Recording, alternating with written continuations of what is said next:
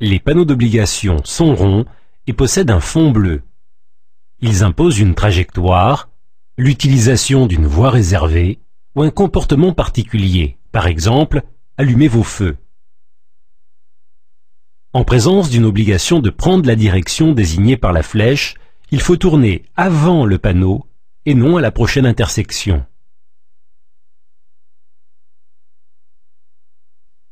La flèche inclinée du panneau vous oblige à contourner l'obstacle par la droite. Alors qu'ici, il faudra le contourner par la gauche. Les obligations concernant la conduite à tenir lors de la prochaine intersection sont les suivantes. Tout droit, à droite, à gauche.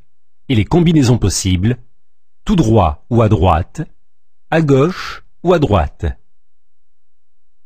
Tout droit ou à gauche, en ce qui concerne les voies réservées, les véhicules concernés sont désignés en toutes lettres, ou bien par un symbole. Certains panneaux imposent un comportement particulier. Allumez vos feux, mais aussi équipez vos pneus avec des chaînes, ou bien respectez la vitesse minimale obligatoire indiquée. Pour signaler la fin de l'obligation, le panneau est barré de rouge, à moins que la fin de l'obligation ne soit mentionnée en toutes lettres.